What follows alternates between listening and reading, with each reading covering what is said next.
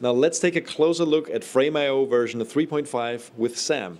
Cinema 5D at IBC 2019 is brought to you by B&H, the professional source for all your video needs. CVP, the leading specialist in creative cine, video and photo solutions. Laowa, unique cinema and photography lenses. Goodson, capture the world. And Fujinon, ultimate optical performance. Hi, this is Nino from Cinema 5D. We're here at IBC 2019 with Frame.io. Hi, Sam. How are you? Hey, I'm great. Nice to meet you, Nino. Thanks nice, for having me. Nice to meet you too. Um, so you just released uh, Frame.io release 3.5. Yep. Is that right? Yeah, I think we reported about it. Uh, but it'd be nice to get a run through of the new features. Yeah, great. I'll give you a quick rundown of, of what just went live. Uh, so the first is range-based comments, uh, and I'll jump into the player to show you what that looks like. Uh, and as you know, in the past with Frame.io, we've always had these frame-specific comments, uh, and we've had customers asking us for a long time to allow you to comment on entire ranges. Uh, so I would just click play here, um, and let's say I want to take out this clip here. Caps lock on, so this will be extra loud. Uh, but you can see when I'm leaving that comment, uh, you see this new kind of range selector as you're leaving the comment. So I can just come in and just drag that out. And one of the cool things that we've introduced as part of this as well is uh, precision scrubbing. So if I hold down shift, I can actually go frame by frame and find that exact moment that I want uh, to take out. Uh, and you can go back the other direction as well. And again, you have precision scrubbing there as, as well. Um, so once I take that out and just say enter, I have that range. Uh, if I have the range selected, I can loop through the range and make sure that uh, I'm just continuing to see that. And when I'm ready to, to leave it and just move on to the next one, uh, I can just click here, press escape. Uh, so that's range-based comments. If I click into it, you just see it right in the comment panel, and you can see uh, the range that I've selected. Uh, and this is also live on iOS, uh, on our Adobe Premiere panel, on Final Cut Pro. Um, so all the places that you're used to using Frame.io, you'll see these range-based comments come in. You can import them into your sequence or timeline as markers, uh, that sort of thing. So that's range-based comments. Uh, the next piece that we've introduced is uh, advanced search and filter. So in the past, we always had uh, jump to search, and that'll just quickly take you to uh, an asset or a project that you're looking for. Uh, but we've also introduced search and filter. So uh, let's say I have a bunch of assets in my project. I can now filter to only show me items from a specific project. So let's go to Roads End Film, which is the project we were just working on. Uh, and then maybe I just want to see items uh, that have been approved. I can click in there and I see my approved assets for that. Or maybe I want to see everything that uh, has been uploaded in the last, let's say in the last week. I can do that as well. Um, so just a, a, more customizable, flexible way to look at all the assets that you have uh, in your Frame.io account. Uh, so a pretty big step forward in terms of discoverability and how you're able to find uh, your content in Frame.io. Especially when you have bigger teams working on projects, I guess. Exactly, yeah. So uh, if you are an account or, an organization that uses multiple teams in Frame.io, um, you can actually even filter by team. So if I come in here, uh, let's actually just say, take out some of these filters and I'll just go to team, scrolling the wrong way. Uh, and so maybe I just want to see everything in this Airbnb demo team, right?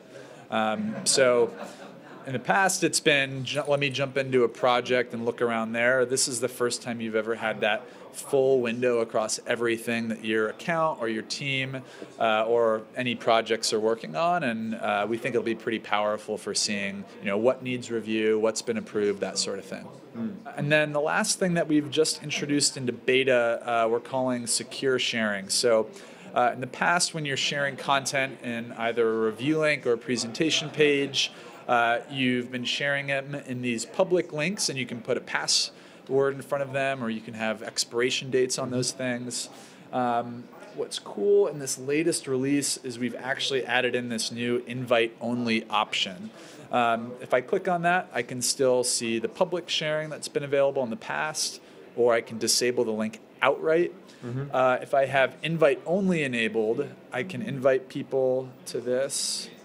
Uh, they'll get an email from Frame.io just as they would in the past. So a little bit like Google Drive. Yeah, kind of like Google Drive. So uh, if I invite this user, in this case it's demo one plus inbox, Yeah. uh, they'll get that email, but they're going to have to actually log in to Frame.io to access that content. So Or register.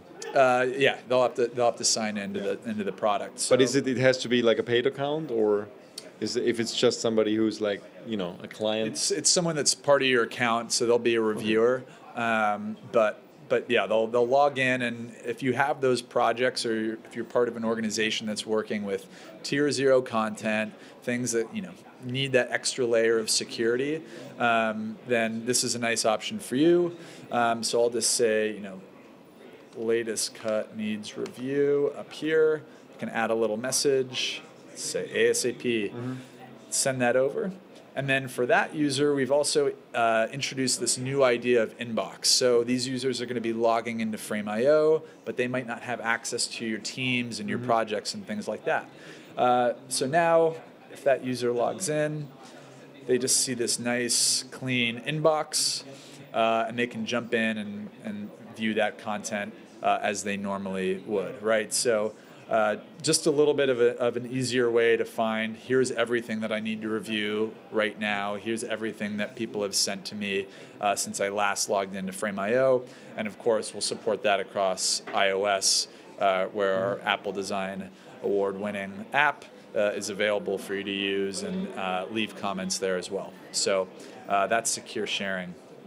Great. So those are the three big news. Uh, those are the three big things. The last, the the something else that I'll add in there. The one more thing. The one more thing. That's what I. That's what I was looking for. Yeah. Uh, so uh, we're constantly making updates to our to our Premiere app as well.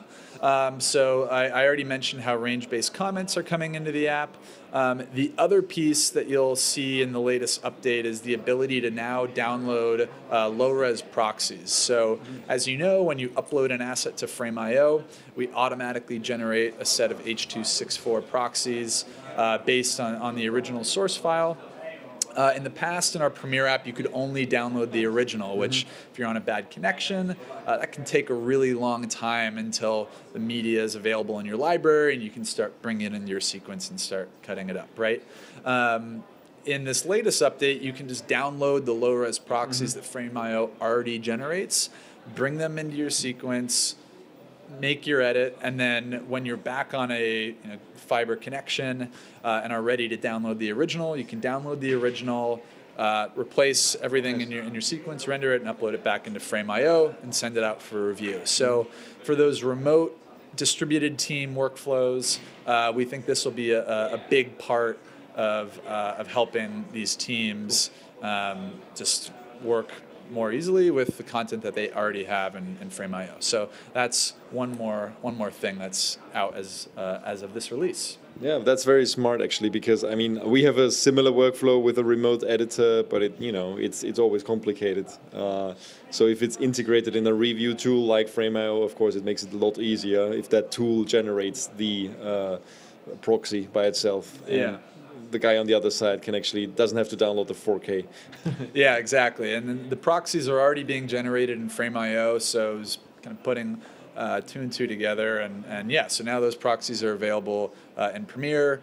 Uh, if if you're using the DaVinci Resolve integration, of course they're already there, and uh, the the originals actually download in the background and, and come in automatically, which is nice. So, um, so yeah, lots of cool ways to, to leverage those uh, remote editor workflows and, and make the most of the proxies that are being generated in Frame.io. Nice. And when is 3.5 available? 3.5 is available now. So, uh, range based comments, uh, advanced search, those are available to all users. And then secure sharing is something that's in beta right now. So, uh, people can, can reach out and get added to the beta list, and we'll, we'll kind of do a phased rollout uh, with that release. But um, yeah, that's, that's what's available. All right. Thank you, Sam. Thanks for having me. Thanks for running me through, and thanks everybody for watching. Stay tuned to Cinema 5D for more from IBC 2019, and please don't forget to subscribe to our YouTube channel. Thanks.